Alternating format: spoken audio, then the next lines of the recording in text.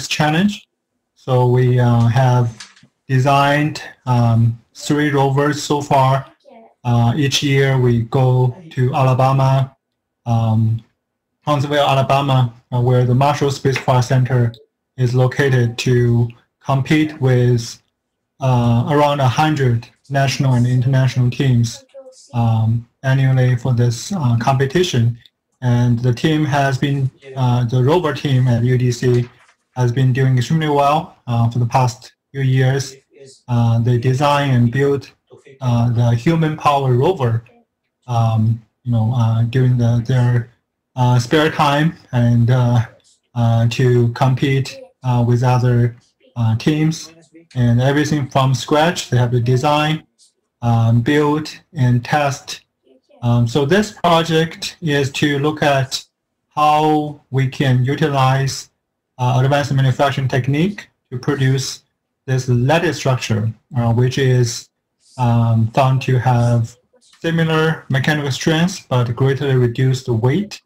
Uh, so we were, uh, because weight is one of the critical design consideration in the rover, so the team is trying to utilize this technique as a special structure uh, to modify some of the parts they use in their rover design to uh, reduce the weight while maintaining the uh, mechanical strength they need. So with that, I will turn over to the team and have them present their project. And again, um, please hold your question to the end, uh, but feel free to type in the chat box anytime. And also, uh, don't forget, uh, fill out the survey form and select the right project when you do that. And um, so are you ready, Giancarlo? Uh, yeah, I think we're all set. Okay, uh, you can start anytime. Okay, so our project is, um, as Dr. Xu introduced, uh, the design, manufacturing, and characterization of additively manufactured lattice structures for the NASA Human Exploration Rover Challenge. Um, I'm Giancarlo, and I'm joined here by James and Waleed, and you can see some of our uh, product that uh, we uh, made using these design principles. So uh, just to give you a uh, brief outline um, as to what we're going to be doing.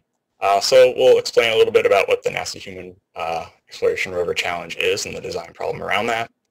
some of our lattice structure research, the design and analysis of these structures, um, fabrication, mechanical testing, post-processing, the conclusions we've drawn from that work, and uh, future work and acknowledgments. So just to give a little bit of background, the NASA Human Exploration Rover Challenge um, is a NASA competition which takes place in Huntsville, Alabama. Um, it's an international competition involving approximately 100 participants, uh, 50 high schools and 50 universities. And participating teams must develop a human-powered rover uh, which can navigate a uh, course of simulated lunar and Martian terrain and complete various challenges. Uh, the teams are competing for points uh, so they are competing on the basis of uh, completion time as well as challenges completed. And uh, really the main takeaway is this rewards a robust design uh, that can complete the course in the allotted time. Um, so it encourages the teams to think about the development of technology and uh, you know design thinking for aerospace applications. Um, unfortunately, as with everything, the 2020 challenge was canceled due to the pandemic, uh, but we still got a fair amount of work done. So as the rover is being built, uh, weight is a major concern. Um, the more weight we add to the rover uh, is just incurring a penalty because the rider is producing the same amount of power uh, when they're pedaling. So parts of the rover, uh, such as, for instance, the steering knuckles, um, have to be very precisely manufactured, but they're also used multiple times on the rover, up to four times. Um, so if we reduce the steering knuckle by a pound, uh, we actually get a four-pound reduction in overall weight which doesn't sound like a lot, but it really starts adding up um, when you have, say, a 195 pound rover or 150 pound rover. Um, so we took on the development of a new knuckle design. Please, me, please. Uh, thanks. Uh, we worked on development of a new knuckle design with emphasis on lightweight and high strength. Um, so looking at uh, some solutions for this, uh, metal foams and honeycombs and offer substantial benefits. Uh, so they have a high specific strength, um, but they are hard to manufacture, expensive, um, and you have to bond them to your parts uh, either with adhesives, welding, or another process. Um, so that is a failure mode. Uh, the additively manufactured uh, metals that we can okay. produce here in school, though, can incorporate lightweight lattice structures within a shelled solid all in one piece. Uh, so we can see up to a 50% weight reduction without a large reduction in strength of the part. Um, so these lattice structures are defined by a, a repeating unit cell structure, uh, which you can either have fill a void or outright replace a solid. Um, these hold great promise for aerospace applications. So again, the high specific strength is a huge benefit uh, where weight is a major concern. Uh, thermal isolation, so they're relatively um, small contact area due to the size of the, the lattice. And they can be used in heat exchange applications as well. Uh, but obviously these can't be created through traditional manufacturing. Uh, there's a lot of complex curves and angles. Uh, so really the way to make these is through an additive process. Um, so to that end, we're using a um, 3D metal printer. Um, and that and gives us some constraints. So there's volumetric constraint for one. Uh, the build platform is 250 by 250 by 325 millimeters um, in size. And uh, the powder is quite expensive, so there's a cost associated uh, with each part volume. Um, so we want to minimize our building uh, size as much as possible. Uh, there's a Z height constraint, uh, so the amount of powder on hand limits the amount of uh, build height that we have. So we have a little bit less than 100 millimeters total build height. Um, and uh, the printer itself is filled with the Maraging steel powder. it's easy to work with, print, and process, and it has really great mechanical properties, which we'll go into in a little bit more detail. so this is a uh, steering knuckle design.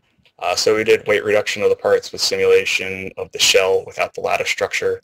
Um, we found about 1.8, uh, 1.56 micron display, uh, displacement with uh, 1.8 kilonewtons of force on the knuckle. Um, so the shelled area you see there is going to be filled with the lattice structure, and that was determined through our experimental testing of the lattices. I'm going to hand you off to James. We'll go into more detail on the lattice. Thanks, John. Uh, so in order to create these lattice structures and implement them into our design, uh, we used uh, Creo 6.0, which is our actually the school's preferred 3D uh, modeling uh, system. Uh, we actually found that their lattice structuring module was one of the more robust, which was great for us. So it, it was broken down in a, a few sections. The beams type structures, uh, which were sort of the first push lattice structures, the 2.5D, which are great for a, a uniaxial strength, and then the formula driven, which is a, a new uh, set of uh, lattice structures that have been introduced in Creo 6.0. And so with our research, uh, we, we looked into uh, what data we could find about these lattice structures. So we actually found a really excellent article uh, where a team had tested uh, these these pretend lattice structures with Maraging steel using the Eosint M280 uh, 3D printer, which is what we'll be using. So it was a great um, direction for us to uh, take our project. So it gave us stress strain curves for each structure, um, and then it gave the peak stress, plateau stress, toughness, and Young's modulus. Um, so we looked at the data that we were given. We get a comparison uh, graph here of the, the peak stress for uh, relative densities of each of the different uh, structures that they tested. Uh, we can see here we've highlighted the sheet diamond and, and the relative density of 10%, uh, it's head and shoulders over the other structures, and then at 25%, it's uh, it's not quite as greatly over the other structures, but it's still significantly better. So we did a decision matrix uh, to decide which structure we wanted to use in order to move forward in our, our in our project. So we took a couple criteria based on what we had is plateau stress, Young's modulus, toughness, ultimate strength, and of course the availability of the lattice structure within the program we were using. So a few of them that were stronger we weren't able to use, but uh, again, the, the, sheet diamond uh, in terms of across the board strengths and availability we were able to use. Um, so that Next slide, yeah. And then, so that sort of changed the scope of our project uh, a little bit. We, we originally were going to use uh, different lattice structures and test them out, but we actually decided we were going to go with different densities of the sheet diamond structure since we found it to be uh, much greater in our research um, than the other structures. Uh, you can see here we've got the uh, the uh, equation for the sheet diamond structure, uh, a lot of cosine and sine waves, so a very uh, curved structure. Um, and then, so what we decided to use is a data trend based uh, on the on densities and uh, strength characteristics to decide uh, which density we would use for the final rover print. So here is a stress strain curve for differing uh, densities for the sheet diamond structure at 25%, 20%, and 16%. Uh, you can see that for each, uh, it's about a 5% jump for each um, density. Uh, you get about a 25% gain uh, in the uh, peak stress um, and, and about the same in the uh, in the strain area as well. So you get a lot of gain even from even earlier we saw it between 10 and 25 percent we we saw a lot of uh, strength gain we still get it in between these these different nominal notches uh, so we attempted to do some structural analysis. Uh, so you can see in the top left corner, we uh, it's a simplified rep of the lattice structure where we had tried to do shells on each side in order to apply physics loads uh, onto the structure. Uh, we found uh, we found a lot of trouble with it though. The the the structure itself, even when you try to transfer it from PTC Creo uh, parametric to simulate, the, the lattice structure doesn't propagate. Uh, so we found a few ways to get around that by transferring it to an STL file back to an S, S into a step file and then back into programs like ANSYS. And then you can see here on the bottom left is a, a mesh that we were able to get out of ANSYS, which uh, is not really defining the shape of what we're looking at because it's not including all of the, the empty space between the lattice. Um, and and that was the best we were able to come up with. We actually found out that uh, many research organizations are are not are just doing experimental data because simulation is so complex. Um, I think with our program, we were able to do uh, a, we were able to do up to like ten thousand facets, and this structure had over six hundred thousand facets. Um, so it was just a little too high for us, and we had too many struggles with importing. So the equipment used, we use the our school supplied EOSint M280 DM direct metal laser sintering printer. Uh, so it's a powder-based printer with a 400 watt laser, particle sizes of 50 to 60 microns. Um, so it's a it's a was a grant uh, that we got the machine at the school, so we got it up and running uh, with some MS1 Raging steel this year, which is a great like high strength, large, low carbon uh, steel used in aerospace applications. And we use the MS1 powder that's made specifically for EOS by the EOS, uh, for the EOS printer. Um, so the materials that we needed in order, um, you can see a little video here of the, the process of the powder bed uh, the scraper uh, pushing the powder across the bed, and then the the the uh, um, the laser sintering the uh, the structures together. Uh, pretty interesting. Um, so the supplies we needed were the Maraging steel powder. We needed uh, a Maraging steel build plates and then nitrogen gas as the shield gas in order to do the printing. Um, the other requirements were chem polishing uh, different acids, nitric, phosphoric, and hydrochloric, provided by Dr. Tyagi's nanotechnology lab. So here are just some quick properties of uh, the MS1 as printed. Um, I'm not going to go through them too much, but we can see at a, a you know a gigapascal or greater in tensile strength, and same with yield strength. That this is a very strong material.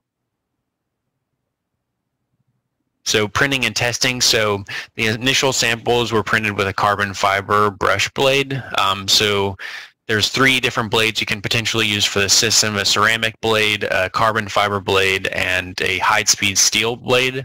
So we had to go with the carbon fiber brush blade because it's the best for um, for high quality or complex prints as well.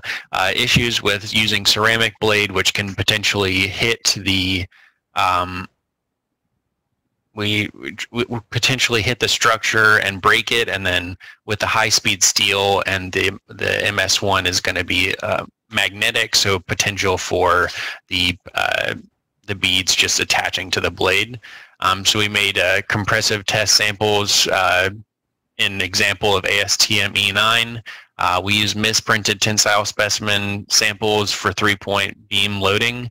Uh, and then uh, as well, we are um, we have printed more uh, tensile tests for ASTM E8 standards um, and in the XY direction, and we'd like to test those. And I'll pass it off to Waleed. Thank you. So shown in both figures is our printed specimen that we printed to perform our mechanical testing on. Um, the left sample is the dog bone shaped specimen with the lattice structure that we printed for tensile testing. And on the right sample here is the uh, cylinder shaped specimen with lattice structure as well that we printed for our um, uh, compression testing. Um, the table shown here um, represents different types of densities um, for our printed samples. Um, we have uh, three different types of densities, 30%, 40%, uh, and 50% um, will be tested that we tested. And uh, this um, is to help support the purpose of the of our project uh, in, in terms of weight reduction while uh, also maintaining the our strength properties. Um, so we have here the 30% relative density sample carries a weight of 5.3 grams.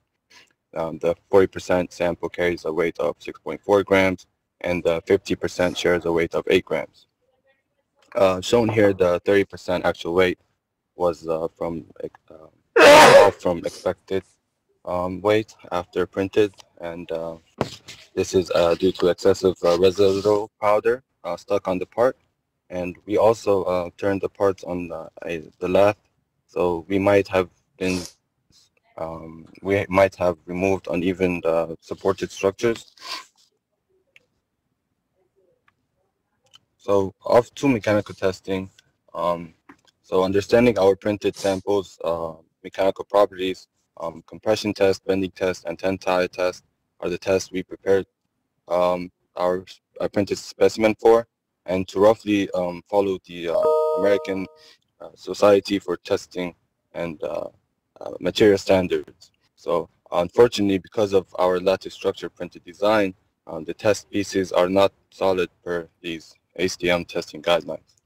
And um, shown on the top figure is the mechanical testing machine that we used, and uh, it is called the ADMET Expert 2600. It is located on campus uh, in Building 42. Um, the bottom figure shows the setup of our compression test. As you can see, our compression um, specimen is installed under the inline fixture. Um, although this uh, fixture here is uh, for bending fixture, and uh, a platen fixture would be more recommended uh, for this compression test. Um, um, but uh, we used the tools that were available at the time to delay, uh, to minimize delays and cost. Uh, plans to conduct the tensile testing, um, but due to the spring pandemic, um, it was um, the work for it was paused. So the next slide here is the compression test and a video. And we had several, seven specimens in total for our compression, uh, three in 30%, two in 40%, and two in 50%. The um, the test speed was run at five millimeters per minute, and the force range was set to 20 kilonewtons.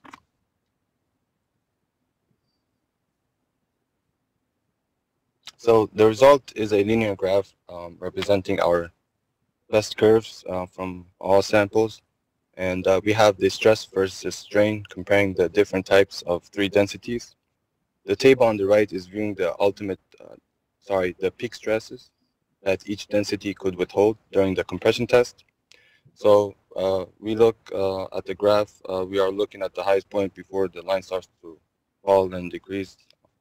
Um, where the, um, here we have the 30% uh, relative density falls at 158 megapascals, 40% uh, at 211 megapascals, and the 50% at 188 megapascals. Um, these results appear to be inconsistent with expected. Um, due to the 40% appears significantly stronger than the 50%. And um, this demonstrates to the team that need for additional testing as flaws may be due to printing or lack of post-processing. So this next test is our three-point point, uh, bending test. And um, we have three specimens of each. Apologize. It seems like PowerPoint crashed. um, let me reopen.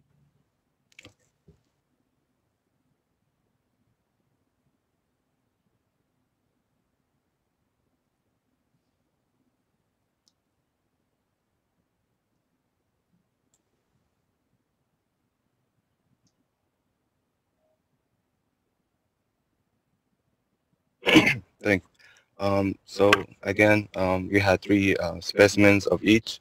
We had the 30% relative density and 40% relative density, but um, unfortunately the 50% relative density were lost due to technical difficulties uh, with the machine. So the samples uh, were mostly the same with only um, one of 30% uh, samples showing a major defect that reduced um, flexural uh, strength of this specimen. Um, the data shows the, the flexural strength is 168 megapascals for 30% density and uh, 248 megapascals for 40% density. Um, this shows us an increase of about 40% in flexural strength, um, even without the third point um, from the 50%. And um, the yield strength here shows that it's for the 30% brewing, being 110 megapascals, and uh, for the 40%, it um, equals 133 megapascals. so um, again here, um, we are just comparing the two different densities. Um, this time we're adding um, information on the solid density, um, the data from the manufacturer specs uh, on the material that we shared and um, a previous slide from mechanical testing properties, mechanical properties, sorry. Um, and due to uh, no available flexural data, we are making comparison to the manufacturer's specifications for tensile properties um, for as printed parts. Um, although we cannot confirm the properties are the same, we cannot assume the specimen failed in tension from the flexural test for data comparison. So our main takeaway from this is that the lattice uh, structure generally underperformed compared to as printed solid parts specifications in result to bending. And I would like to pass uh, the next to my colleague, Giancarlo. Okay, thank you, Walid. Uh, so I'm going to go a little bit over some of the post-processing, the work that we've done on the pieces here. Um, so all of these printed pieces um, have some unwanted uh, steel granules that stick to them during the printing process. Um, and these affect the surface roughness and dimensional accuracy of the parts to some degree. Uh, the surface also may contain cracks, which can decrease the strength of the part. so we used uh, chem polishing to remove these. Uh, we did SEM imagery taken uh, before we did any of the processing. Um, and then we used a chem polish procedure developed at UDC to remove this unwanted material and cracks. And then we compared the surface roughness uh, before and after the chem polish. Uh, so you can see on the platen there is our part in the SEM. And this is a 205 times magnification of the part, so you can see a large number of granules all over the surface of the uh, compressive test part that we have here. And zooming in a little bit more at about 1,000 times magnification, uh, you can see we have a lot of particulate between uh, about 5 and 30 microns in diameter. Um, and this was pretty uniform over the entire surface of the part. Uh, so this chem polishing procedure uh, is using an acid bath uh, to remove these particulates. Um, and so the preliminary chem polish shows a massive improvement in surface finish. Um, we had a huge reduction in particles, um, almost none that we could see uh, in the 5 to 30 micron range, um, and fewer surface cracks. Uh, and we would expect that we could see a measurable increase in yield stress. Uh, this is something that we didn't have an opportunity to test. Um, but you can see to the right there is a chem polished uh, sample at 1,000 times magnification. And taking that, we can look at it 2,000 and 10,000 times in the left and right respectively. And you can see the surface is incredibly uniform and smooth.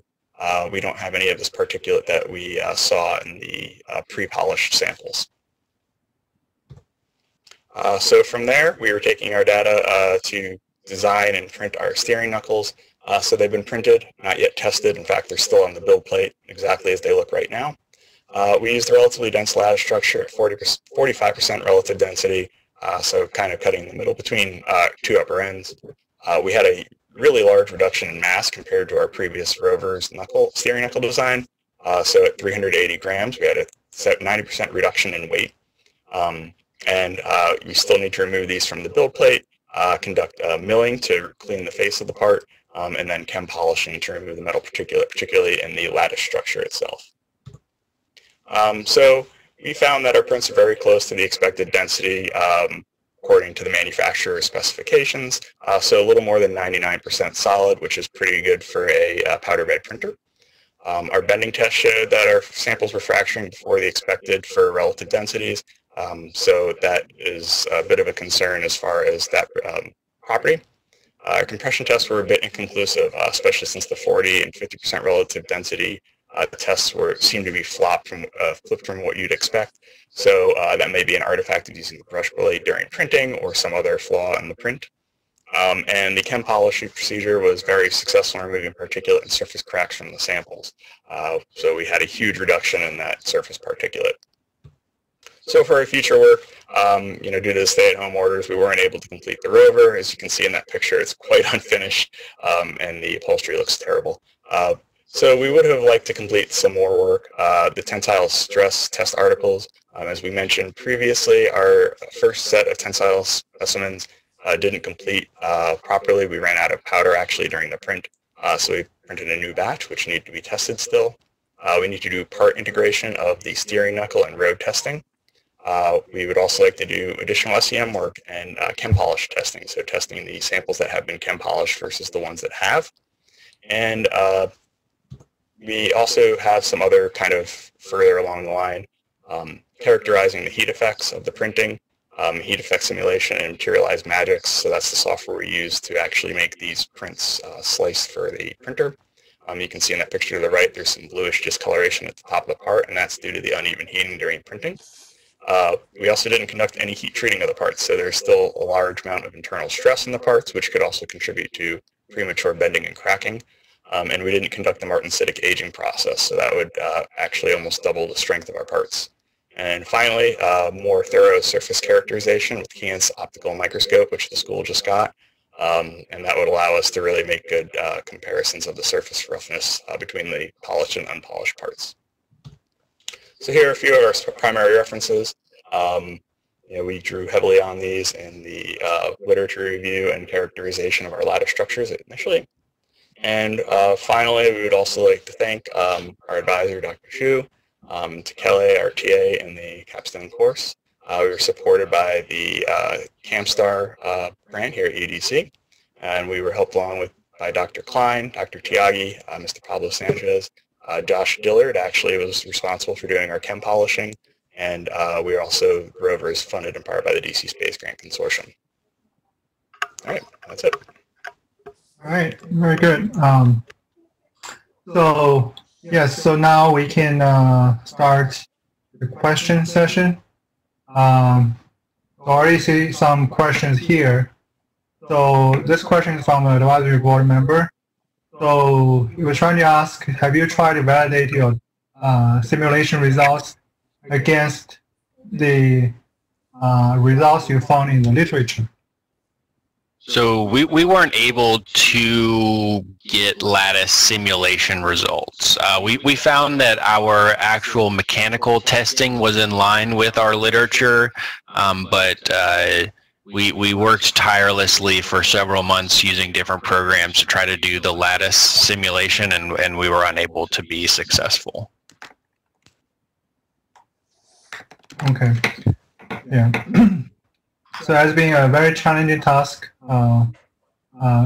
there's a, a group uh, and NASA is also working on similar task and they have been having uh, some difficulty uh, simulating the lattice structure as well.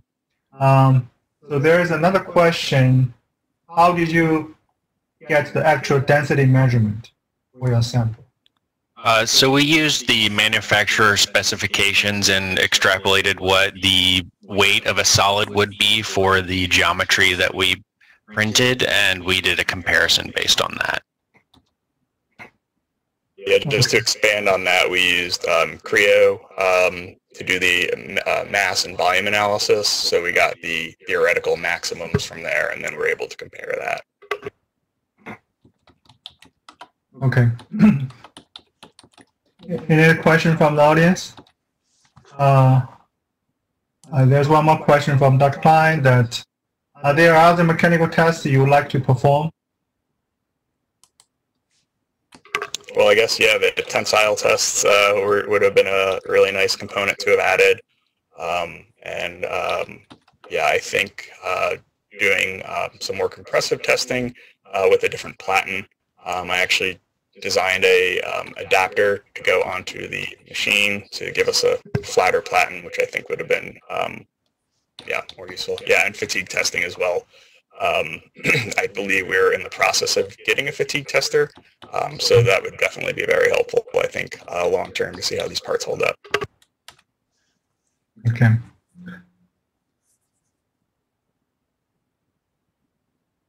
Uh, I see another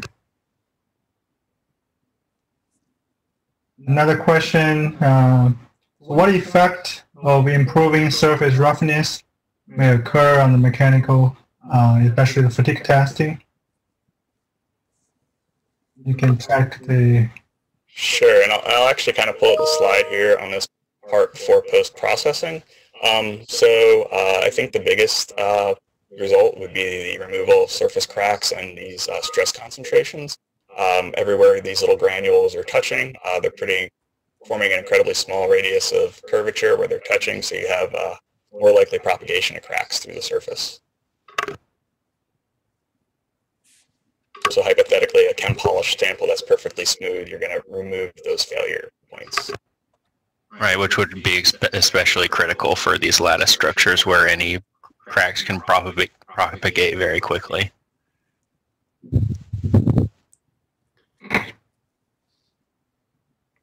And uh, I guess for the just general question for this lattice structure, um, you, did mention uh, a few applications.